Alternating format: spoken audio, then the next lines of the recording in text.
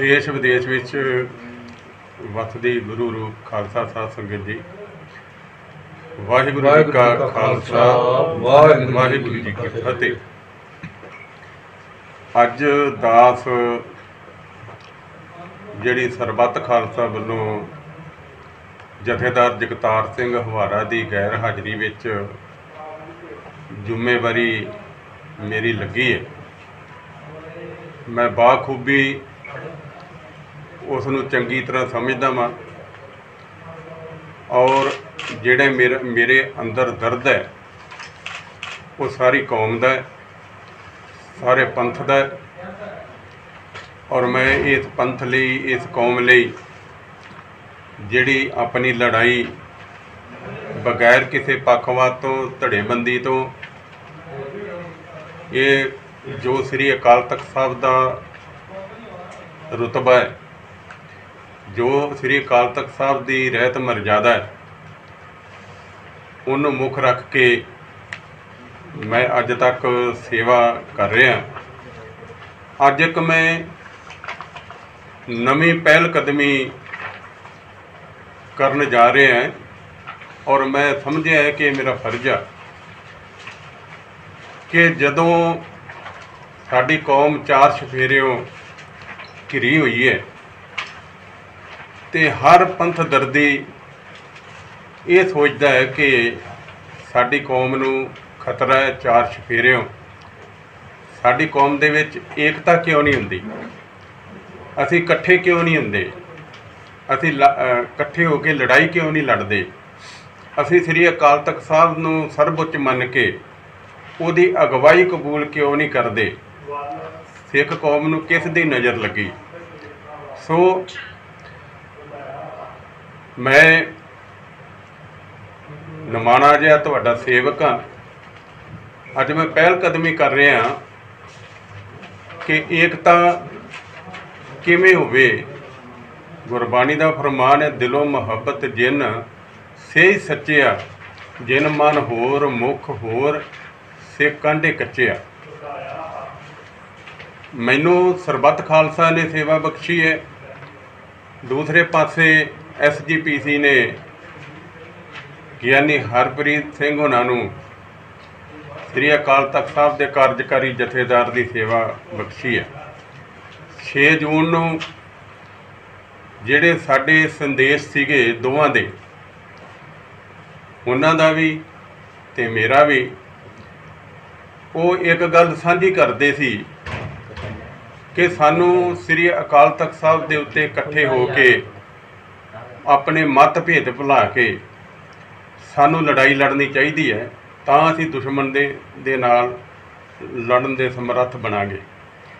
ਸੋ ਉਹ ਜਿਹੜੀ ਏਕਤਾ ਦੀ ਗੱਲ ਚੱਲੀ, ਦੇਸ਼ ਵਿਦੇਸ਼ ਦੇ ਵਿੱਚੋਂ ਮੈਨੂੰ ਬਹੁਤ ਸੰਗਤਾਂ ਦੇ ਫੋਨ ਆਏ, ਉਹਨਾਂ ਨੂੰ ਵੀ ਆਏ ਹੋਣਗੇ। ਔਰ ਬੁੱਧੀਜੀਵੀ ਵਰਗ ਨੇ, ਲੇਖਕ ਵਰਗ ਨੇ, ਪੰਥ ਦਰਦੀ ਜਿਹੜੇ ਸਾਡੇ ਸਿੱਖ ਨੇ, ਉਹਨਾਂ ਨੇ ਮੈਨੂੰ ਕਿਹਾ ਕਿ ਕਿਉਂ ਨਹੀਂ? ਤੁਸੀਂ ਅਕਾਲ ਤਖਤ ਸਾਹਿਬ ਦੇ ਦੋ ਦੋ ਜਥੇਦਾਰ ਬਣੇ ਹੋਏ, ਸਾਰਿਆਂ ਨੂੰ ਨਜ਼ਰ ਆਉਂਦੇ ਹੋ। ਤੁਸੀਂ ਏਕਤਾ ਦੀ ਗੱਲ ਕਿਉਂ ਨਹੀਂ ਕਰਦੇ? ਤੁਸੀਂ ਇਕੱਠੇ ਕਿਉਂ ਨਹੀਂ ਹੁੰਦੇ? ਤੇ ਉਹ ਜਿਹੜੀ ਗੱਲ ਸੀ, ਜਿਹੜੀ ਲੋਕਾਂ ਦੀ ਆਵਾਜ਼ ਸੀ, ਉਹ ਮੇਰੇ ਦਿਲ ਤੱਕ ਵਹਿ ਗਈ। ਮੈਂ ਪੂਰੀ ਸੋਚ ਵਿਚਾਰ ਕੀਤੀ।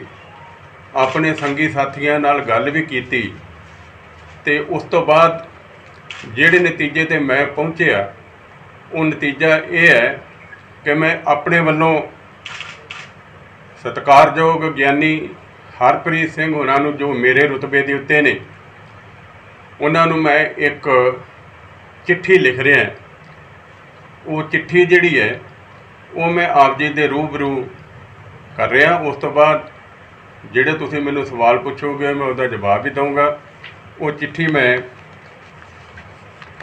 ਸਾਰੇ ਪੰਥ ਦੇ ਸਨਮੁਖ ਕਰ ਰਿਹਾ ਹਾਂ। ਮੇਰੇ ਹਮ ਹਮ ਰੁਤਬਾ ਸਿੰਘ ਸਾਹਿਬ ਗਿਆਨੀ ਹਰਪ੍ਰੀਤ ਸਿੰਘ ਜੀ, ਉਪਰੰਤ ਇਹ ਸਾਰੀ ਕੌਮ ਤੇ ਸੰਸਾਰ ਦੇ ਧਿਆਨ ਵਿੱਚ ਹੈ ਕਿ ਆਪ ਜੀ ਨੂੰ ਸ਼੍ਰੋਮਣੀ ਗੁਰਦੁਆਰਾ ਪ੍ਰਬੰਧਕ ਕਮੇਟੀ ਨੇ ਸੇਵਾ ਸੌਂਪੀ ਹੈ। ਅਤੇ ਦਾਸ ਨੂੰ ਸਰਬੱਤ ਖਾਲਸਾ ਵਿਧੀ ਰਾਹੀਂ ਸੇਵਾ ਬਖਸ਼ਿਸ਼ ਹੋਈ ਹੈ। ਗੁਰੂ ਪੰਥ ਨੇ ਸਾਡੇ ਤੇ ਜ਼ਿੰਮੇਵਾਰੀਆਂ ਪਾ ਕੇ ਕੁਝ ਆਸਾਂ ਵੀ ਰੱਖੀਆਂ ਹੋਈਆਂ ਹਨ। ਪਰੰਤੂ ਦਿਨੋਂ ਦਿਨ ਪੰਥ ਦੀ ਨਿਗਰਦੀ ਹਾਲਤ ਨੂੰ ਵੇਖ ਕੇ ਕੌਮ ਪੀੜਾ ਮਹਿਸੂਸ ਕਰ ਰਹੀ ਹੈ। ਇਸ ਕਰਕੇ ਕੌਮ ਵਿੱਚੋਂ ਆਵਾਜ਼ੇ ਉੱਠ ਰਹੇ ਹਨ। ਇਸ ਲਈ ਪੰਥ ਦੇ ਵਡੇਰੇ ਹਿੱਤਾਂ ਅਤੇ ਕੌਮੀ ਮਸਲਿਆਂ ਦੇ ਮੱਦੇਨਜ਼ਰ ਜੋ ਕੁਝ ਸਿੱਖ ਸੰਗਤਾਂ ਵਿੱਚੋਂ ਆਵਾਜ਼ ਉੱਠ ਰਹੀ ਹੈ, ਉਸ ਦਰਦ ਨੂੰ ਸਾਂਝਾ ਕਰ ਰਿਹਾ ਹਾਂ ਉਸ ਵਿੱਚੋਂ ਇਹ ਉੱਭਰ ਕੇ ਸਾਹਮਣੇ ਆ ਰਿਹਾ ਹੈ ਕਿ ਕੌਮ ਵਿਚਲੀ ਫੁੱਟ ਕਰਕੇ ਸਿੱਖ ਪੰਥ ਅੱਜ ਮੰਦਹਾਲੀ ਦੇ ਦੌਰ ਵਿੱਚੋਂ ਗੁਜ਼ਰ ਰਿਹਾ ਹੈ। ਇਹ ਗੱਲ ਆਪਾਂ ਵੀ ਚੰਗੀ ਤਰ੍ਹਾਂ ਸਮਝਦੇ ਹਾਂ ਅਤੇ ਇਸ ਕਰਕੇ ਹੀ ਆਪਾਂ ਦੋਵਾਂ ਨੇ 6 ਜੂਨ ਨੂੰ ਦਰਬਾਰ ਸਾਹਿਬ ਉੱਤੇ ਫੌਜੀ ਹਮਲੇ ਦੇ ਸਬੰਧ ਵਿੱਚ ਮਨਾਏ ਗਏ ਘੱਲੂਕਾਰਾ ਹਫ਼ਤੇ ਦੀ ਸਮਾਪਤੀ ਸਮੇਂ ਹੋਏ ਸਮਾਗਮਾਂ ਤੋਂ ਬਾਅਦ ਸਿੱਖ ਕੌਮ ਨੂੰ ਏਕਤਾ ਵਾਸਤੇ ਭਾਵਪੂਰਤ ਅਪੀਲਾਂ ਕੀਤੀਆਂ ਸਨ, ਜਿਨ੍ਹਾਂ ਨੂੰ ਲੈ ਕੇ ਸਿੱਖ ਬੁੱਧੀਜੀਵੀ ਵਰਗ ਅਤੇ ਕਈ ਸਿੱਖ ਚਿੰਤਕਾਂ ਅਤੇ ਲੇਖਕਾਂ ਨੇ ਇੱਕ ਵੱਡਾ ਸਵਾਲ ਖੜਾ ਕੀਤਾ ਹੈ ਕਿ ਜਥੇਦਾਰ ਪਹਿਲਾਂ ਖੁਦ ਹੀ ਏਕਤਾ ਕਰਨ ਤਾਂ ਹੀ ਕੌਮ ਵਿੱਚ ਕੋਈ ਏਕਤਾ ਦਾ ਮੁੱਢ ਵੱਜ ਸਕਦਾ ਹੈ। ਇਸ ਸੰਬੰਧੀ ਦੀਰਘ ਵਿਚਾਰ ਕਰਨ ਉਪਰੰਤ ਪੰਥ ਨੂੰ ਦਰਪੇਸ਼ ਚੁਣੌਤੀਆਂ ਦੇ ਸਨਮੁਖ ਦਾਸ ਆਪਣਾ ਨੈਤਿਕ ਫਰਜ਼ ਸਮਝਦਿਆਂ ਇਹ ਪਹਿਲ ਕਦਮੀ ਕਰਨ ਦੀ ਕੋਸ਼ਿਸ਼ ਕਰਦਾ ਹੈ ਕਿ ਸਮੁੱਚੀ ਕੌਮ ਦੀਆਂ ਭਾਵਨਾਵਾਂ ਅਨੁਸਾਰ ਸਾਰੇ ਮਸਲਿਆਂ ਦੇ ਸਦੀਵੀ ਹੱਲ ਲਈ ਸਭ ਤੋਂ ਪਹਿਲਾਂ ਆਪਾਂ ਖੁਦ ਨੂੰ, ਆਪਾਂ ਨੂੰ ਖੁਦ ਹੋਏ ਇਕੱਤਰ, ਮਿਲੋ ਮੇਰੇ ਭਾਈ, ਦੁਬਦਾ ਦੂਰ ਕਰੋ ਲਿਵ ਲਾਏ, ਹਰ ਨਾਮੇ ਕੇ ਹੋਵੋ ਜੋੜੀ, ਗੁਰਮੁਖ ਬੈਸੋ ਸਫਾ ਵਸਾਏ। ਦੇ ਸਿਧਾਂਤ ਅਨੁਸਾਰ ਜੁੜ ਕੇ ਬੈਠਣਾ ਚਾਹੀਦਾ ਹੈ। ਇਸ ਵਿੱਚ ਧੜਿਆਂ ਅਤੇ ਨਿਜਤਾ ਦਾ ਤਿਆਗ ਕਰਕੇ ਸਿਰਫ ਤੇ ਸਿਰਫ ਪੰਥਕ ਫਰਜ਼ਾਂ ਅਤੇ ਮੁੱਦਿਆਂ ਨੂੰ ਤਰਜੀਹ ਦੇਣ ਵਾਲੀ ਗੁਫ਼ਤਗੂ ਅਕਾਲ ਤਖਤ ਸਾਹਿਬ ਵਿਖੇ ਹੋਣੀ ਚਾਹੀਦੀ ਹੈ, ਕਿਉਂਕਿ ਖੁਆਰੀਆਂ ਦਾ ਦੌਰ ਬਹੁਤ ਲੰਮਾ ਚੱਲ ਚੁੱਕਿਆ ਹੈ, ਇਸ ਨੂੰ ਹੋਰ ਬਰਦਾਸ਼ਤ ਕਰਨਾ ਮੂਰਖਤਾ ਹੀ ਹੋ ਸਕਦੀ ਹੈ। ਜੇ ਅਸੀਂ ਜ਼ਿੰਮੇਵਾਰੀ ਰੁਤਬਿਆਂ ਦੀ ਸੇਵਾ ਤੇ ਸੇਵਾ ਕਰ ਰਹੇ ਹਾਂ, ਲੋਕ ਆਪਣੇ ਫਰ- ਫਰਜ਼ਾਂ ਨੂੰ ਨਹੀਂ ਸਮਝਦੇ ਤਾਂ ਆਮ ਸਿੱਖਾਂ ਨੂੰ ਸੰਦੇਸ਼ ਜਾਂ ਨਸੀਹਤਾਂ ਦੇਣ ਦਾ ਅਧਿਕਾਰ ਸਾਡੇ ਕੋਲ ਨਹੀਂ ਰਹਿ ਜਾਂਦਾ। ਸਮੁੱਚੀ ਕੌਮ ਸਮੁੱਚੀ ਕੌਮ ਵਿੱਚ ਇਸ ਵੇਲੇ ਇੱਕ ਧਾਰਨਾ ਬਣ ਚੁੱਕੀ ਹੈ, ਜੋ ਕਿ 100% ਦੀ ਸੱਚਾਈ ਵੀ ਹੈ ਕਿ ਹਰ ਖੇਤਰ ਵਿੱਚ ਸਿੱਖ ਆਗੂਆਂ ਦੀਆਂ ਕਮਜ਼ੋਰੀਆਂ, ਲਾਲਚ ਅਤੇ ਅਵੇਸਲੇਪਨ ਨੇ ਕੌਮ ਨੂੰ ਬਰਬਾਦੀ ਦੇ ਕੰਢੇ ਤੇ ਖੜਾ ਕਰ ਦਿੱਤਾ ਹੈ।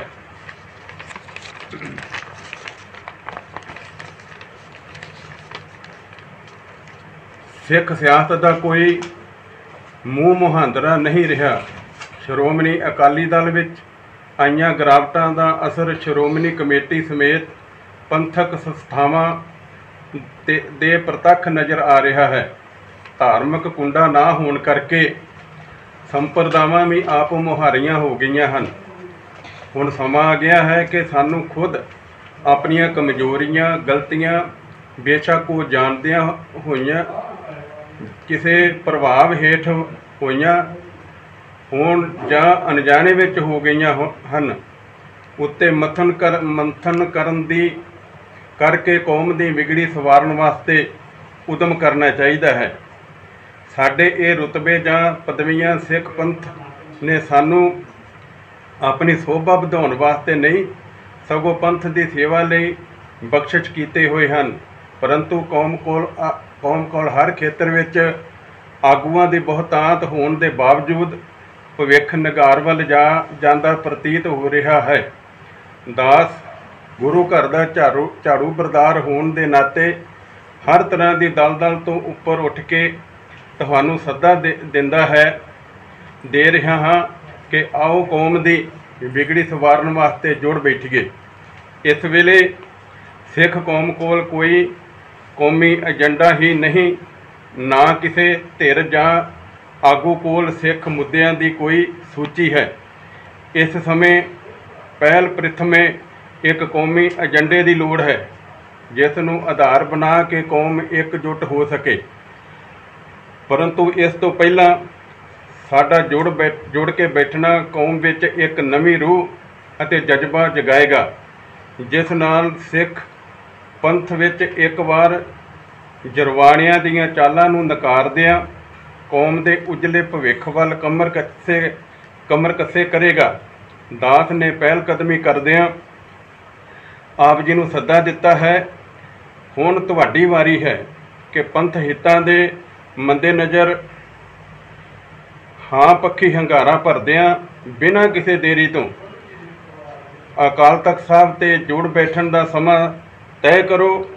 ਆਪ ਜੀ ਦੇ ਆਪ ਜੀ ਦੇ ਸਾਰਥਕ ਅਤੇ ਅਸਾਰੂ ਹੰਗਾਰੇ ਦੀ ਉਡੀਕ ਵਿੱਚ ਜਥੇਦਾਰ ਧਿਆਨ ਸਿੰਘ ਮੰਡ ਵਾਹਿਗੁਰੂ ਜੀ ਕਾ ਖਾਲਸਾ ਵਾਹਿਗੁਰੂ ਜੀ ਕੀ ਫਤਿਹ। ਮਨ ਸਾਹਿਬ ਜੇਕਰ ਦੇਖੋ ਉਹਨਾਂ ਦਾ ਸੱਦਾ ਜਿਹੜਾ ਮੈਂ ਅੱਜ ਦਿੱਤਾ ਵਾ ਉਹਨਾਂ ਦੇ ਹਾਂ ਪੱਖੀ ਹੰਗਾਰੇ ਦੀ ਉਡੀਕ ਵਿੱਚ। ਹਾਂ ਔਰ ਜੇ ਉਹ ਹੰਗਾ, ਹਾਂ ਹਾਂ ਪੱਖੀ ਹੰਗਾਰਾ ਭਰਦੇ ਨੇ, ਮੈਂ ਸਮਝਦਾ ਹਾਂ ਕਿ ਸਾਡੀ ਕੌਮ ਵਾਸਤੇ, ਸਾਡੇ ਪੰਥ ਵਾਸਤੇ ਇਹ ਇੱਕ ਬੜਾ ਸੁਨਹਿਰੀ ਭਵਿੱਖ ਦਾ ਜਿਹੜਾ ਮਸਲਾ ਹੋਊਗਾ। ਔਰ ਬਹੁਤੇ ਬੰਦਿਆਂ ਵਿੱਚ ਜਦੋਂ ਏਕਤਾ ਕਰਾਉਣੀ ਹੋਵੇ ਕਈ ਤਰ੍ਹਾਂ ਦੀਆਂ ਉਲਝਣਾਂ ਪੈਦਾ ਹੁੰਦੀਆਂ ਜਿੱਥੇ ਦੋ ਬੰਦੇ ਜਿਨ੍ਹਾਂ ਦੀਆਂ ਬਹੁਤ ਵੱਡੀਆਂ ਜ਼ਿੰਮੇਵਾਰੀਆਂ ਕੌਮ ਨੇ ਉਹਨਾਂ ਦੇ ਸਿਰ ਤੇ ਪਾਈਆਂ ਹੋਣ, ਉਹ ਜਦੋਂ ਪੰਥ ਦੇ ਦਰਦ ਨੂੰ, ਕੌਮ ਦੇ ਦਰਦ ਨੂੰ ਲੈ ਕੇ ਬੈਠਣਗੇ, ਮੇਰਾ ਖਿਆਲ ਆ ਕਿ ਉੱਥੇ ਕੋਈ ਇਸ ਤਰ੍ਹਾਂ ਦੀ ਗੱਲ ਪੈਦਾ ਨਹੀਂ ਹੋਊਗੀ ਕਿ ਜਿਹਦੇ ਨਾਲ ਕੌਮ ਨੂੰ ਕੋਈ ਨਿਰਾਸ਼ਾ ਪੈਦਾ ਹੋਵੇ ਪਰ ਜਦੋਂ ਆਪਾਂ ਗੱਲ ਕਰਦੇ ਹਾਂ ਬੇਅਦਬੀਆਂ ਨੂੰ ਲੈ ਕੇ, ਡੇਰਾ ਸਿਰਸਾ ਮਾਫੀ ਦੀ ਲੈ ਕੇ ਆਪਾਂ ਸਰਬੱਤ ਖਾਲਸਾ ਕੀਤਾ। ਸਰਬੱਤ ਖਾਲਸਾ ਦੇ ਵਿੱਚੋਂ ਤੁਹਾਨੂੰ ਕਾਰਜਕਾਰੀ ਸੇਵਾਵਾਂ ਜਿਹੜੀਆਂ ਉੱਥੇ ਸ੍ਰੀ ਅਕਾਲ ਤਖਤ ਸਾਹਿਬ ਦੇ ਬਤੌਰ ਜਥੇਦਾਰ ਦੀਆਂ ਮਿਲੀਆਂ, ਤੁਸੀਂ ਨਿਭਾ ਰਹੇ ਹੋ ਬਾਖੂਬੀ ਨਿਭਾ ਰਹੇ ਹੋ ਉਹਨੂੰ। ਸਮੇਂ-ਸਮੇਂ ਸਿਰ ਕੌਮ ਨੂੰ ਜਿਹੜਾ ਆਪਣੇ ਅਦੇ ਸੰਦੇਸ਼ ਵੀ ਦੇ ਰਹੇ ਹੋ। ਪਰ ਜੋ ਹਾਲਾਤ ਨੇ, ਕਿਹਾ ਜਾਂਦਾ ਕਿ ਗਿਆਨੀ ਆਰਪੀ ਸਿੰਘ ਨੂੰ ਭਾਵੇਂ ਐਜੀਪੀਸੀ ਨੇ ਥਾਪਿਆ, ਪਰ ਉਹਨੂੰ ਬਾਦਲਾਂ ਦਾ ਜਥੇਦਾਰ ਪ੍ਰਵਾਨ ਹੋਏਗਾ। ਦੇਖੋ ਜੇ ਮੈਂ ਕਹਿ ਦਵਾਂ ਕਿ ਸਾਰੀ ਕੌਮ ਮੇਰੇ ਨਾਲ ਖੜੀ ਹੈ, ਇਹ ਠੀਕ ਨਹੀਂ ਹੋਵੇਗਾ। ਜੇ ਗਿਆਨੀ ਹਰਪ੍ਰੀਤ ਕਹਿਣ ਕਿ ਸਾਰੀ ਕੌਮ ਉਹਨਾਂ ਨਾਲ ਖੜੀ ਹੈ, ਇਹ ਗੱਲ ਠੀਕ ਨਹੀਂ। ਮੈਂ ਤਾਂ ਆਪਣੇ ਦਿਲੋਂ ਚਾਹੁੰਦਾ ਵਾਂ ਕਿ ਸਮੁੱਚੀ ਜਿਹੜੀ ਕੌਮ ਆ, ਇਹ ਦੋ ਧੜਿਆਂ ਤੋਂ ਪਿੱਛੇ ਹਟ ਕੇ ਸ੍ਰੀ ਅਕਾਲ ਤਖਤ ਸਾਹਿਬ ਨਾਲ ਸਿੱਧੀ ਜੁੜੇ। ਇਹ ਮੇਰੀ ਸੋਚ ਹੈ ਕੌਣ ਕੀ ਕਹਿੰਦਾ ਉਹਦੇ ਕਿਹੋ ਜਿਹੇ ਵਿਚਾਰ ਨੇ? ਮੈਂ ਸੰਗਤ ਦੇ ਸਾਹਮਣੇ ਆਪਣਾ ਅੱਜ ਕੇਸ ਜਿਹੜਾ, ਉਹ ਰੱਖ ਦਿੱਤਾ। ਔਰ ਸੰਗਤ ਦਾ ਰੁਤਬਾ ਜਿਹੜਾ, ਇਹ ਵੱਡਾ ਹੁੰਦਾ ਹੈ। ਸੰਗਤ ਦਾ ਹਮੇਸ਼ਾ ਡਰ ਰੱਖੀਦਾ ਹੈ, ਗੁਰੂ ਦਾ ਡਰ ਰੱਖੀਦਾ ਹੈ। ਔਰ ਅੰਦਰੋਂ ਬੋਲ ਰਹੇ ਅਸੀਂ, ਬਾਹਰੋਂ ਨਹੀਂ ਬੋਲ ਰਹੇ। ਕਿਉਂਕਿ ਸਾਡੇ ਪਰਿਵਾਰਾਂ ਦਾ ਬਹੁਤ ਵੱਡਾ ਪੰਜਾਬ ਦੇ ਵਿੱਚ ਨੁਕਸਾਨ ਹੋਇਆ, ਸਾਨੂੰ ਨਹੀਂ ਭੁੱਲਦਾ।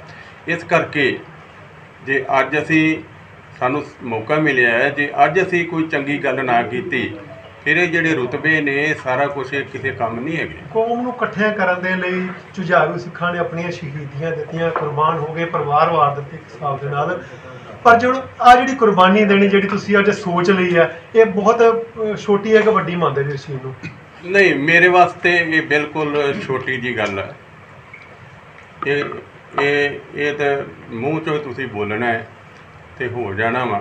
ਇੱਕ ਲੜਾਈ ਜ਼ਬਾਨ ਦੀ ਹੈ, ਇੱਕ ਵਿਚਾਰ ਦੀ ਹੈ, ਇੱਕ ਹਥਿਆਰ ਦੀ ਹੈ। ਤੇ ਇਸ ਕਰਕੇ ਜਿਹੜੀ ਮਿੱਠੀ ਜ਼ਬਾਨ ਹੁੰਦੀ ਹੈ, ਮਿੱਠਤ ਨੀਵੀ ਨਾਨਕਾ ਗੁਣ ਚੰਗਿਆਈਆਂ ਤਤ, ਇਹ ਜਦੋਂ ਬੋਲੀ ਕਿਸੇ ਜ਼ਬਾਨ ਚੋਂ ਨਿਕਲਦੀ ਹੈ ਤੇ ਹੰਕਾਰ ਆਪਣੇ ਆਪ ਹੀ ਖਤਮ ਹੋ ਜਾਂਦਾ ਹੈ।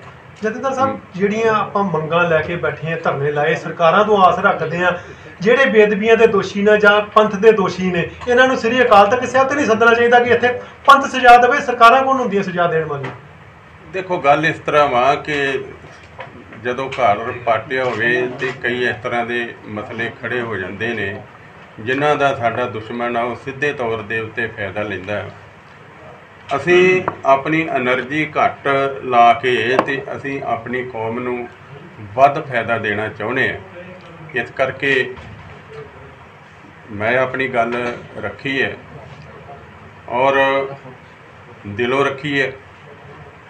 ਸਾਰੀ ਕੌਮ ਨੂੰ ਵੀ ਕਹਿ ਰਹੇ ਔਰ ਸਾਰੇ ਜਿਹੜੇ ਜ਼ਿੰਮੇਵਾਰ ਆਗੂ ਨੇ ਧੜੇਬੰਦੀਆਂ ਵਿੱਚ, ਜਥੇਬੰਦੀਆਂ ਵਿੱਚ, ਸੰਪਰਦਾਵਾਂ ਦੇ ਵਿੱਚ, ਹਰ ਤਾਂ ਜਿੱਥੇ ਵੀ ਉਹਨਾਂ ਦੇ ਚਰਨਾਂ ਦੇ ਵਿੱਚ ਵੀ ਮੈਂ ਇੱਕ ਨਚੀਜ਼ ਜਿਹਾ ਬੰਦਾ ਵਾਂ, ਪਰ ਮੈਂ ਪੰਥ ਤੇ ਕੌਮ ਦਾ ਭਲਾ ਚਾਹਣਾ ਉਹਦੇ ਵਾਸਤੇ ਮੈਂ ਪਹਿਲਾਂ ਵੀ ਉਪਰਾਲੇ ਕੀਤੇ ਨੇ ਤੇ ਹਮੇਸ਼ਾ ਮੈਂ ਕਰਦਾ ਰਹੂੰਗਾ। ਗਿਆਨੀ ਹਰਪ੍ਰੀਤ ਸਿੰਘ ਉਹਨਾਂ ਨੇ 2022 ਦੇ ਵਿੱਚ ਵੀ ਇਹੋ ਹੀ ਸੰਦੇਸ਼ ਦਿੱਤਾ ਸੀ ਕਿ ਇਕੱਠੇ ਹੋ ਜਾਓ। ਪਰ ਉਦੋਂ ਵੀ ਹੁੰਗਾਰਾ ਕਿਸੇ ਪਾਸੇ ਨਹੀਂ ਮਿਲਿਆ। ਤੁਸੀਂ ਅੱਜ ਹੁੰਗਾਰਾ ਭਰਿਆ, ਚੰਗੀ ਗੱਲ ਹੈ। ਕਿ ਲੱਗਦਾ ਕਿ ਇਹ ਸ਼੍ਰੋਮਣੀ ਕਮੇਟੀ ਇਸ ਚੀਜ਼ ਨੂੰ ਜਥੇਦਾਰ ਸਾਹਿਬ ਤੇ ਦੇਖੋ, ਦਬਾਅ ਮੈਂ- ਜਾਂ ਕੋਈ ਇਹੋ ਜਿਹਾ ਕੋਈ ਦੇਖੋ ਮੈਨੂੰ ਕਿਸੇ ਦਾ ਨਹੀਂ ਪਤਾ ਕਿਹੋ ਜਿਹਾ ਜਵਾਬ ਆਉਣਾ ਹੈ ਕੀ ਗੱਲ ਹੈ। ਜਿਹੜੀ ਸਾਡੀ ਗੱਲ ਅਸੀਂ ਉਹਨੂੰ ਸਪਸ਼ਟ ਕੀਤਾ ਹੈ। ਔਰ ਅਮ, ਗੁਰੂ ਮਹਾਰਾਜ ਕਿਰਪਾ ਕਰੇ ਅਸੀਂ ਆਪਣੀ ਜਿਹੜੀ ਗੱਲ ਕੀਤੀ ਹੈ, ਇਹਦੇ ਤੋਂ ਪਿੱਛੇ ਨਹੀਂ ਹਟਣ ਵਾਲੇ। ਜੇ ਸ੍ਰੀ ਸ੍ਰੀ ਅਕਾਲ ਤਖਤ ਸਾਹਿਬ ਤੇ ਇਕੱਠ ਹੁੰਦਾ ਹੈ ਜੋ ਪੰਥ ਫੈਸਲਾ ਦੇਗਾ ਮਨਜ਼ੂਰ ਹੋਏਗਾ। ਮੈਂ ਕਹਿੰਦਾ ਜੀ ਮ- ਘਰੋਂ ਮਨਜ਼ੂਰ ਕਰਕੇ ਤੁਰੇ ਹੋਏ ਆ ਇਹ ਤਾਂ ਇਹ ਵੇਖੋ ਨਾ ਕ- ਅਕਾਲ ਤਖਤ ਸਾਹਿਬ ਦੀ ਮਰਜ਼ਾਦਾ ਕਿਵੇਂ ਕਾਇਮ ਰਹਿ ਸਕਦੀ ਹੈ? ਇਹ ਤਾਂ ਫੈਸਲਾ ਸਾਡੇ ਦੋਵਾਂ ਦੇ ਵਿੱਚ ਹੋਊਗਾ। ਅਕਾਲ ਤਖਤ ਸਾਹਿਬ ਦੀ ਮਰਜ਼ਾਦਾ ਆਜ਼ਾਦ ਜਿਹੜੀ ਹਸਤੀ ਹੈ ਜਿਹੜੀ ਅਕਾਲ ਤਖਤ ਸਾਹਿਬ ਦੀ ਜਿਹੜੀ ਸਮਰੱਥਾ, ਉਸ ਦੀ ਰੋਸ਼ਨੀ ਦੇ ਵਿੱਚ ਕੌਣ ਚੱਲ ਸਕਦਾ ਕਿਵੇਂ ਚੱਲਿਆ ਜਾਊਗਾ? ਇਹ ਤਾਂ ਫੈਸਲਾ ਹੋਊਗਾ ਨਾ ਇਹ- ਜਥੇਦਾਰ ਗਿਆਨੀ ਹਰਪ੍ਰੀਤ ਸਿੰਘ ਹੋਣੀ ਵੀ ਉੱਥੇ ਘੁਟਨ ਜੀ ਮਹਿਸੂਸ ਕਰਦੇ ਪਏ ਨੇ। ਜਿਸ ਤਰ੍ਹਾਂ ਦੇ ਉਹਨਾਂ ਤੇ ਦਬਾਅ ਪਾਏ ਜਾਂਦੇ ਨੇ ਵੱਖ ਵੱਖ ਸਮੇਂ ਤੇ।